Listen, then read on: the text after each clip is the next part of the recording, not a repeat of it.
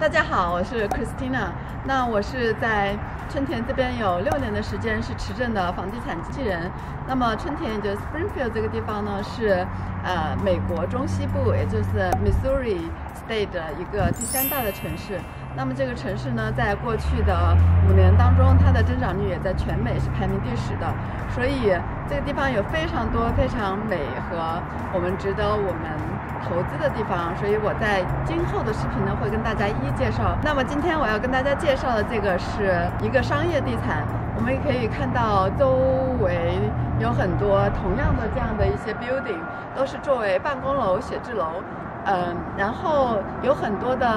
呃律师公司，然后咨询公司，然后会所都会选择在这样的办公楼，所以它的租金的回报率是非常高的。那相比住房地产来说，它的租金回报率会高出百分之五个 percent。所以今天我要带大家一起看一下这样的一个 office building，它实际上是一个房地产的公司。那么这个公司呢，我们可以看到它有全套的安全的系统，所以你就呃有所有的摄像头和这个包括这个呃呃入住的一个密码的系统，那么就会非常的方便。那我们进来看一下，呃，我们一进来呢就会有一个 reception 的一个呃呃 place，所以当你进来的时候，嗯，你会觉得非常的 welcome。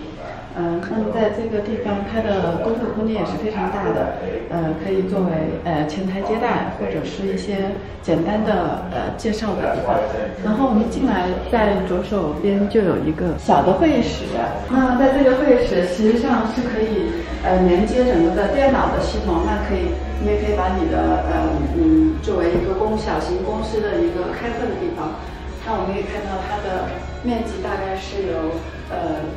十个平方米左右的样子。这里呢，就是第一个办公办公的空间。那这个办公空间可以有六个平方尺。嗯，我们看到它现成其实是已经有公司在租用，所以，嗯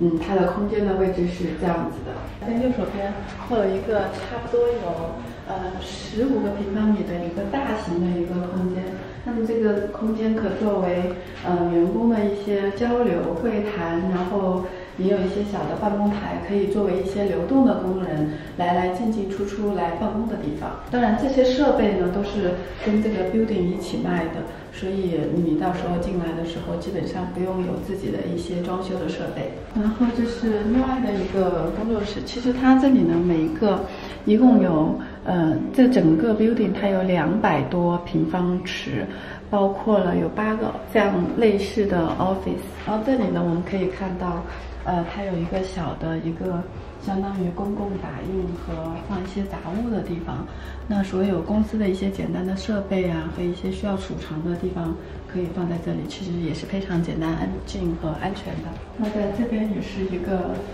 嗯办公空间。然后我们可以看到左手边它是有一个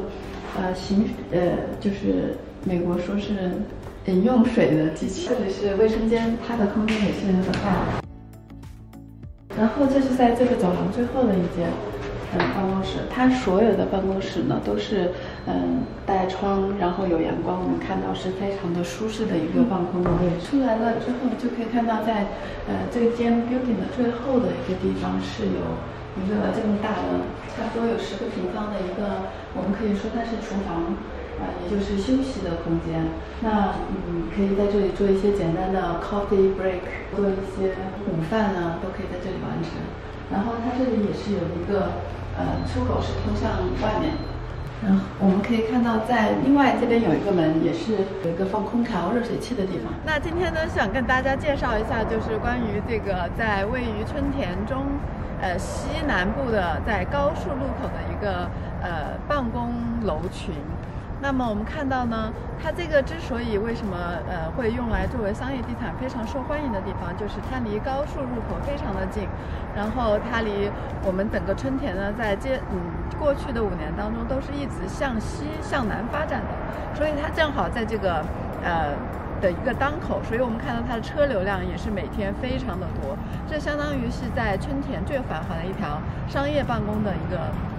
地段。所以呢，我们今天看到的这样的一个 building 的一个群，共有五栋楼。那么这五栋楼呢，呃，A B C D E F G，它是分布是在这样的一个大约有一嗯有一千到两千平方米的一个地方。那我们可以看到，呃，很多人说租商业地产，呃，我的投入它的回报率怎么样？我们是想跟大家介绍的一下这个商业地产之所以会好，是因为以下三个原因。第一，是因为我们不用担心它的一个收租的情况，因为美国它是一个对租客非常保护的保护的一个地方。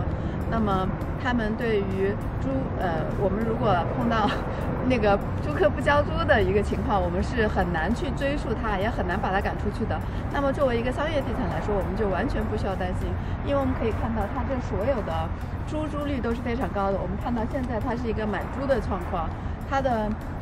租赁的公司包括了一些呃建筑公司啊，一些咨询公司，一些法律公司和一些一个包括一个小的一个医疗的一个办公室，所以他们的租客的数字都是非常高的，所以我们完全不需要担心他的一个租客是否不交租的问题，而且他都是每个月定时定点通过公司直接汇到你的账上。第二个原因呢，是因为呃商业地产它是一个。Three N，也就是 Triple N 的一个 list，它跟一般的住宅地产是不一样的。那么我们住宅地产，我们知道它的投资回报率，你每年每年的年底的时候还要交房产税、交保险费，这对于一个房子的投资来说都是很大的一笔支出。那么对于呃，这个商业地产的租赁的时候，你就完全不需要包呃交这个房产税、保险费，还有所有我们看到这些公共设施的一个维护，都是租客自己来承担的。所以为什么它的租住回报率相对房地呃简单的住宅地产会高很多，就是原因就在这里。